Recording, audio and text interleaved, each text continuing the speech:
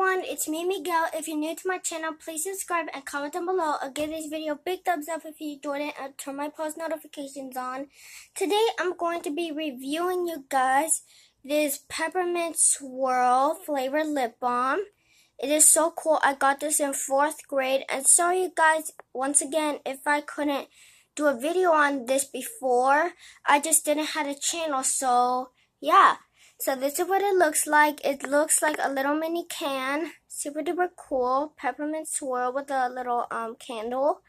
And this is so cool. It looks like a little mason jar, like those little mason jar lip balms. And you open it like this. And you guys can tell that I've been using this so much. And right here, there's a little knob like that. And it goes up.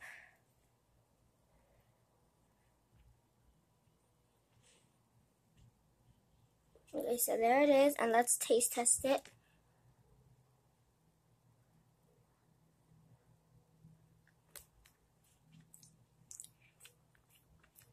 And that is super duper good.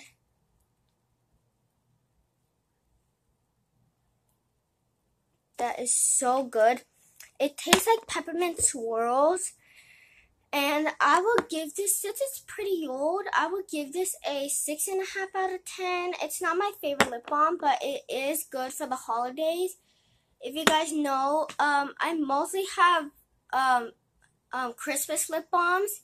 So yeah, that's it for the video of my of reviewing the Peppermint Swirl Lip Balm. So thank you guys so much for watching. I hope you enjoyed this video. Leave me a comment down below what other lip balms or other videos you would like me to see do next.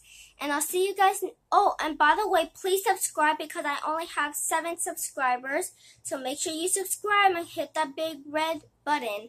So um, give this video a big thumbs up if you enjoyed it and turn my post notifications on and comment down below.